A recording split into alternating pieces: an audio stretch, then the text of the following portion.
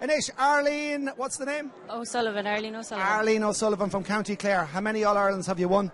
I have four All Irelands altogether, but two in a row. Two in a row on the mouth organ. And they're all watching in the Kilmalian, the Cumden Clare. Hello, everybody. She's a Cumden Claw, the Kilmalian. Ladies and gentlemen, under 18, All Ireland mouth organ champion, Os Cumden Clare. Take it away, Arlene.